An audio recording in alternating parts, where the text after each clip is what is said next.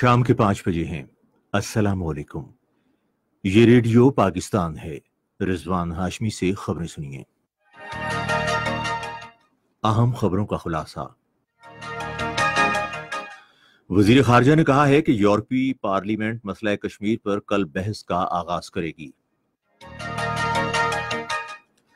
بھارتی supreme court نے مودی حکومت کو مقبوضہ جموں و کشمیر میں حالات معمول پر لانے کا حکم دیا ہے۔ اطلاعات کے بارے میں وزیر اعظم کی معاون خصوصی نے کہا ہے کہ قومی ترقی کے لیے حکومت کی طرف سے کیے گئے اقدامات کے نتائج برآمد ہونا شروع ہو گئے ہیں۔ ترکی، روس اور ایران کے رہنما شمال مغربی شام میں پائیدار امن معاہدے کے لیے آج انقرہ میں ملاقات کر رہے ہیں۔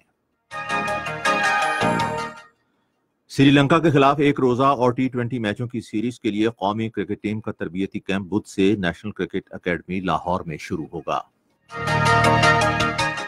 اور اب خبریں تفصیل کے ساتھ۔ وزیر خارجہ شاہ محمود قریشی نے کہا ہے کہ یورپی پارلیمنٹ مسئلہ کشمیر پر کل بحث منعقد کرے گی۔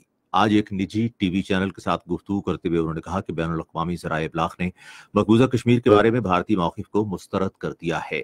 وزیر خارجہ نے کہا کہ مقبوضہ کشمیر میں بھارتی مظالم اور کرفیو کے خلاف کشمیری دنیا بھر میں سراپا احتجاج ہیں۔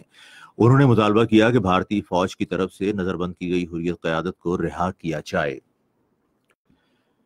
بھارتی سپریم کورٹ نے مودی حکومت کو مقبوضہ جموں و کشمیر میں حالات دوبارہ معمول پر لانے کا حکم دیا ہے۔ بھارت کے چیف جسٹس رانجن گوگوئی نے یہ احکامات مقبوضہ کشمیر میں پابندیوں کی وجہ سے چھ سے اٹھارہ سال کے بچوں کی حالت اظہار کے حوالے سے بچوں کے حقوق کی کارکن اناکشی گنگولی کی طرف سے دائر کی گئی ایک عرض داشت کی سماعت کرتے ہوئے جاری کیے۔ سپریم کورٹ نے ان الزامات کے حوالے سے کہ لوگوں کو ہائی کورٹ تک پہنچنے میں مشکل پیش آ رہی ہے، جموں و کشمیر ہائی کورٹ کے چیف جسٹس سے رپورٹ بھی طلب کی ہے۔ بھارتی چیف جسٹس نے کہا کہ اگر ضرورت پڑی تو وہ کرفیو اور پابندیوں کی وجہ سے انسانی حقوق کی خلاف ورزیوں کے الزامات کا جائزہ لینے کے لیے خود جموں و کشمیر کا دورہ کریں گے۔ یہ پابندیاں پانچ اگست کو لگائی گئی تھیں جب بھارت نے مقبوضہ علاقے کی خصوصی حیثیت ختم کی تھی۔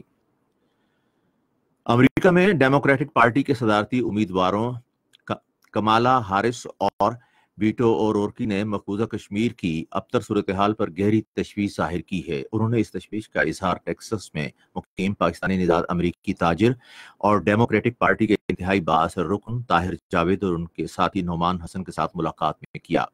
ڈیموکریٹک صدارتی امیدوار کی دوڑ میں شامل۔ بیٹو اور اورکی نے شدید تشویش ظاہر کرتے ہوئے کہا کہ امریکہ کو آگے آنا چاہیے اور جنوبی ایشیا میں امن و استحکام یقینی بنانے کے لیے اپنی کوششیں کرنی چاہیے۔ کمالہ حارث نے اس موقع پر کہا کہ ہم کشمیریوں کو باور کرانا چاہتے ہیں کہ وہ دنیا میں تنہا نہیں۔ سرحد پار رہنے والے اپنے کشمیری بھائیوں کے ساتھ اظہار یکجہتی کے لیے عمائدین سمیت قبائلی عوام کا کارواں آج پشاور سے مظفر آباد کے لیے روانہ ہوا۔ تفصیلات کے مطابق کارواں میں ہزاروں کی تعداد میں قبائلی عوام شریک ہیں۔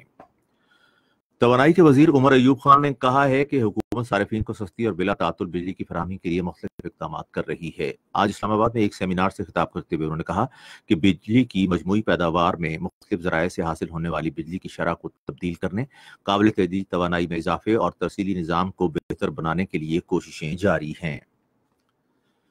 مقبوضہ کشمیر کی صورتحال پر تبصرہ کرتے ہوئے انہوں نے کہا کہ یہ صورتحال پاکستان اور دنیا کے لیے بھی قابل قبول نہیں ہے۔ انہوں نے کہا کہ پاکستان حقیقت کو درادیت کی جد و جہد میں اخلاقی، سفارتی اور سیاسی طور پر کشمیری بھائیوں کے ساتھ ہے۔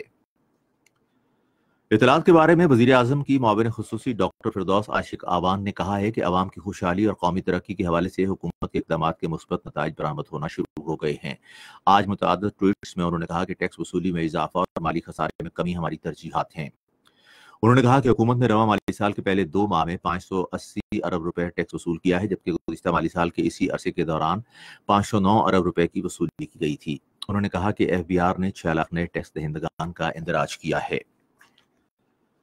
ترکی، روس اور ایران کے رہنما شمال مغربی شام میں پائیدار اور محفوظ جنگ بندی معاہدے کی کوششوں کے تناظر میں آج انکرہ میں ملاقات کر رہے ہیں۔ انکرہ میں سربراہ کانفرنس میں ادلب کے علاقے پر توجہ مرکوز کی جائے گی، جو بشار الاسد کو اقتدار سے ہٹانے کے خواہاں عسکریت پسندوں کے زیر تسلط آخری علاقہ ہے۔